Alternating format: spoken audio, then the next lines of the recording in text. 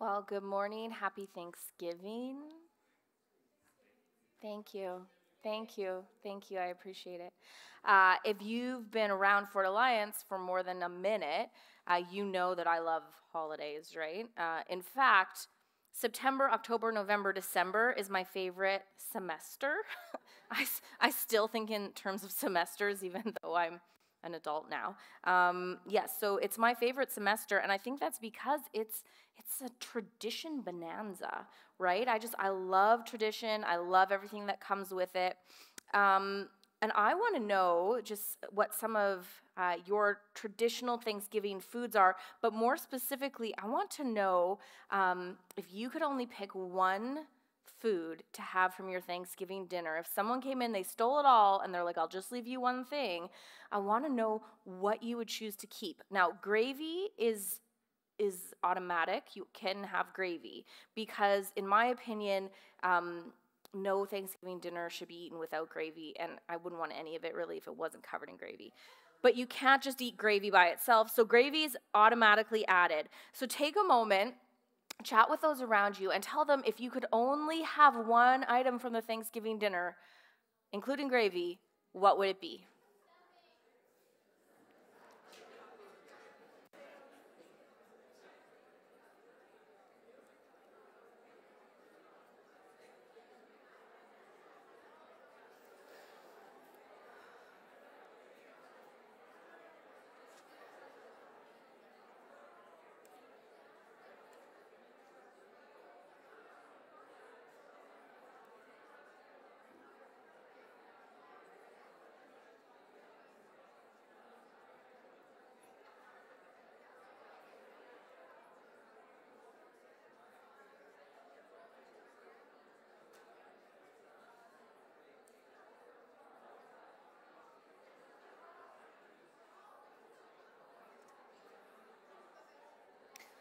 All right, so I know we could talk about Thanksgiving dinner for hours and hours.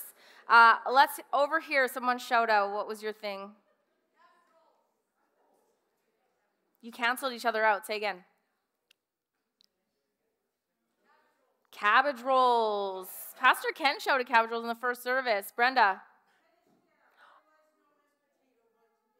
Oh, potato buns baked in cream. Lots of Ukrainian representation here. Over here, pumpkin pie. I made a marshmallow pumpkin pie yesterday, which I'm going to see how it is. I'm pretty excited. So, you know, from the chatter in here, I would say even if you don't love tradition as much as I do, or, you know, you're not as much of a holiday fiend as I am, everyone can still get behind a big dinner, right? Everybody likes, most everybody likes a big dinner. So, speaking of big dinners and traditions, another tradition that I love here at Fort Alliance is that yearly we pack Thanksgiving baskets for folks in our community who might not be able to afford a Thanksgiving basket uh, if uh, otherwise than them receiving one. One of the lines in our mission statement, Pastor Ken spoke a bit about our mission statement uh, when he was doing announcements before. One of our lines is serve the fort. And it is so important to who we are here at Fort Alliance uh, that we are serving the fort. We want to be a church that matters to our community. And when I say a church that matters, what I mean is I often think if Fort Alliance just disappeared like that, would our community care? Would it affect them negatively to have us gone?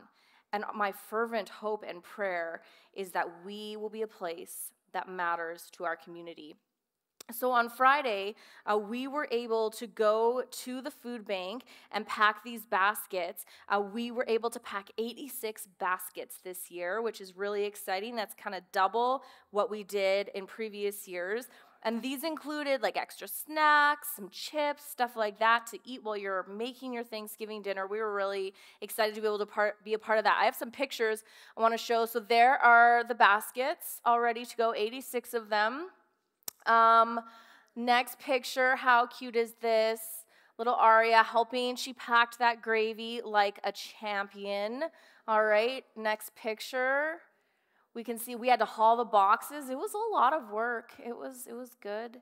And look at this. We have teenagers from our community from our church community helping us pack. I love that. I love any opportunity where we can come together, different generations and serve. Oh, that is such a beautiful picture of the church. So thank you church. Thank you for providing the funds uh, to be able to purchase the ingredients for these dinners.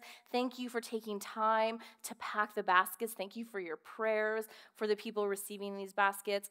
You bless me. I don't think you know how proud I am of you, Fort Alliance. When I am out in the community, doing things on behalf of the church and i hear people talking about our church and i hear people talking about the way that we serve and the way that we love and my heart just bursts with the good kind of pride i'm like yes those are my people it's so exciting so thank you so much well for the rest of our time this morning we're going to be talking about another type of Thanksgiving meal. We are going to be talking about the Lord's Supper and the tradition of the Lord's Supper. And whether you like tradition or not, I think this is also a tradition that you can get behind. It is oh so important for us as believers. And it seems appropriate that at this time of year where we actually take a second and stop, for us to do um, in our busy, busy life, but we actually take a moment, we stop, and we think, what are we thankful for? It seems so appropriate to be to take some time and to be thankful for the fact that we can come to the Lord's table together and what that means.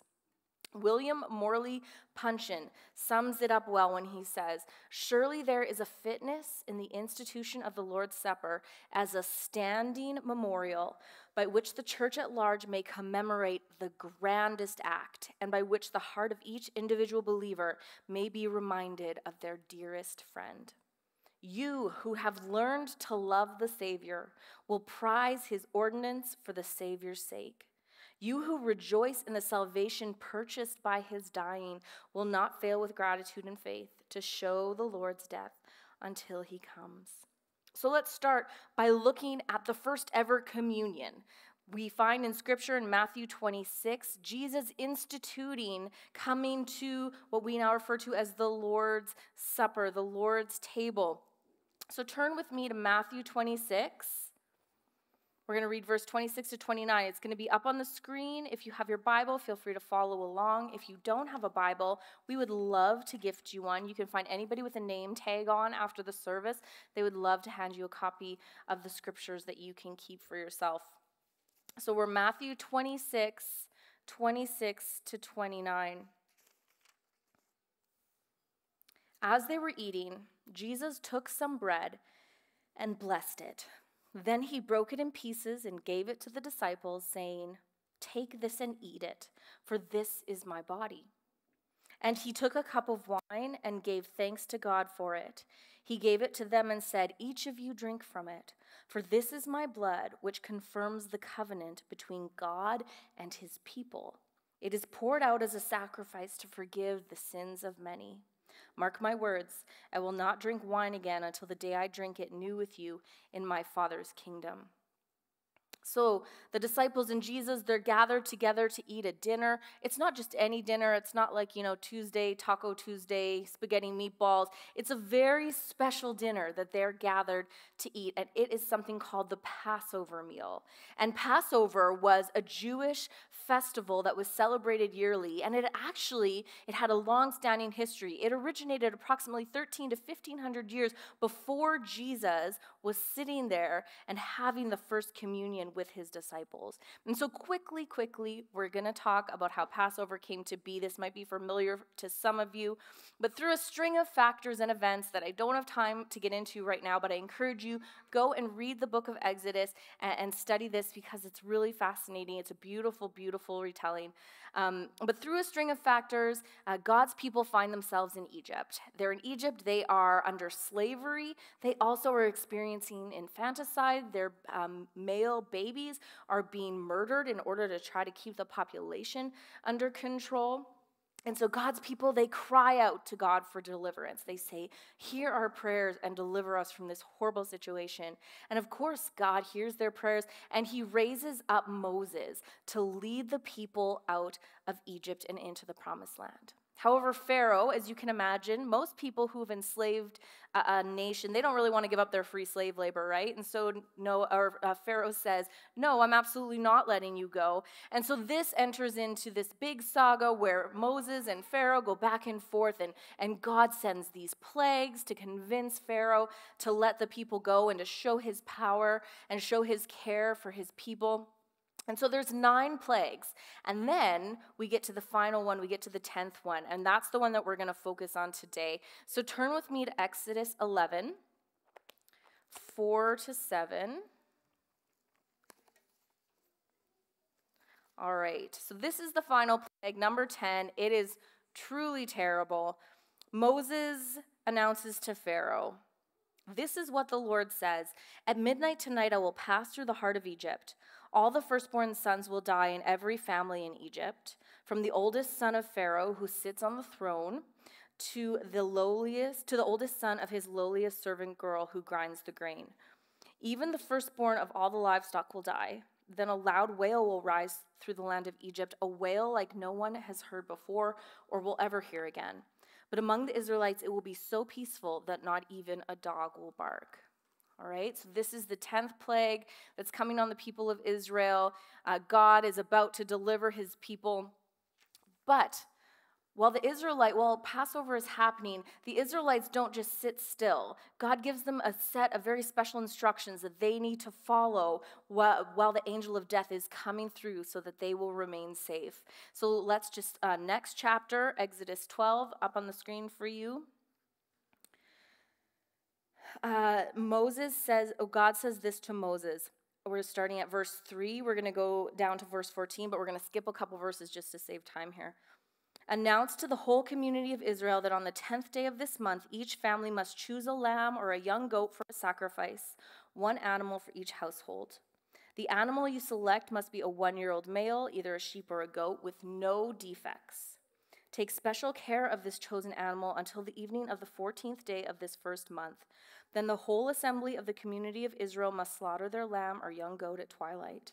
They are to take some of the blood and smear it on the sides and the top of the doorframe of the houses where they're going to eat the animal. That same night they must roast the meat over a fire, eat it along with, bitter with bitter salad greens and bread made without yeast. These are your instructions for eating this meal. Be fully dressed, wear your sandals, and carry your stick in your hand. Eat the meal with urgency, for this is the Lord's Passover. On that night, I will pass through the land of Egypt and strike down every firstborn son and firstborn male animal in the land of Egypt. I will execute judgment against all the gods of Egypt, for I am the Lord. But the blood on your doorposts will serve as a sign, marking the houses where you are staying. When I see the blood, I will pass over you. This plague of death will not touch you when I strike the land of Egypt. This is a day to remember. Each year, from generation to generation, you must celebrate it as a special festival to the Lord. So here Jesus is with his disciples, and they are 1500 years later celebrating this festival. They are commemorating when God passed over and spared the, the families of the Israelites because of the blood of the Lamb that was on the door. Everything Jesus did and does is intentional, right? There's always so much meaning. And I love this explanation of why Jesus chose Passover to institute communion. R.C. Sproul says this Why then did Jesus institute the Lord's Supper on the Passover the night before his crucifixion? In the first place, it's because he is the fulfillment of all that was foreshadowed by the Passover lamb. His blood, the blood of the new covenant, averts the wrath of God for those who place their faith in him. Second, it is because the Last Supper was the eve of the prophesied greater new covenant act of redemption. The promised act of redemption that the prophets described in terms of a new exodus. And just as the first Exodus was preceded by the institution of Passover, the greater new Exodus was preceded by the institution of the Lord's Supper. Jesus instituted the Lord's Supper on this night to signify that this new Exodus was about to begin. This act indicated that the time of redemption had come. And oh, how humanity needed and needs this redemption. Friends, since Adam and Eve introduced sin into the DNA of humanity, we have not been able to fully stand in the presence of God's perfect holiness. God's also perfectly just, and his justice demanded that sin be paid for. But how? How could this sin be paid for? This sin that's made against a holy God? Well, Hebrews 9:22 tells us that without the shedding of blood, there is no forgiveness of sins. And even though throughout the time before Jesus came, God made a temporary way for sin to be atoned for through the sacrificial system, this was never meant to be the ultimate system, the ultimate solution. Romans 3:25 explains why God allowed this to happen. It says that God put forward Jesus as a propitiation by his blood to be received by faith. And this was to show God's righteousness because in his divine forbearance, he passed over former sins. God allowed the insufficient sacrifices because he knew that at the appointed time, he would send Jesus to pay for the sins of humanity. Jesus, friends, he lived a sinless life and he died an undeserved death on the cross. Because of Jesus, our sins, yours, mine, they can be forgiving, forgiven, and our standing with God can be restored. And now, if you're here this morning, you're going, I don't, I don't think I've ever thought about that. I, I don't think that, you know, I, I have that connection to Jesus where, you know, his sacrifice would cover my sins. Well, you're in the perfect place. All you have to do to appropriate that sacrifice for yourself is to say, Jesus, I'm sorry. I know that I'm a sinner in need of a Savior. Please take my life and make it yours. And then, friends, just as the blood of those first Passover lambs turned away the wrath of God from the houses of the Israelites, so too does the blood of Jesus apply to our accounts, turn away the wrath of God directed at our sin. So when God looks at me, he doesn't see Ashley prideful, judgmental, anxious. He sees the righteousness of Jesus. And because of that, not only can I come into the presence of God, but the very Holy Spirit of God can live inside of me day to day. So this morning, as we come together to the table, we are proclaiming together the generous, sacrificial death of Christ. We're proclaiming our need, our personal need, not just that person's need, but our personal need for Jesus. As we drink the juice and, and we eat the bread, we are physically demonstrating that need. When we eat food and, and we drink water, we know that we have to do that to stay alive. If we stop doing that, we would just, we would perish. As we eat and we drink, we're demonstrating that same need that we have for God and for the sacrifice of Jesus. As we come to the table this morning, and I love this part, we are demonstrating our unity as the body of believers. You know, as we as we sit here, you know, there's lots of different languages, lots of different backgrounds, ethnicities, political beliefs, you know, some different theological beliefs. But we come forward and we declare that we all are in need of the sacrifice of Jesus. We are unified through his body and through his blood. And so this morning, we're going to do something that we haven't done in a while. Pastor Ken mentioned it earlier. I am so excited. I've missed this. We're going to come forward for communion. And I want, as you are doing that, I want to encourage you to make your steps meaningful. Don't just kind of tune out and come forward, but I want you to, as you choose to stand and as you choose to take each step, to say, This is my declaration that I am one with Christ. This is my declaration that I am declaring the body of Jesus until he comes. This is my declaration that I am in such desperate need of him every moment, every day. This is my declaration of the death and resurrection of Jesus.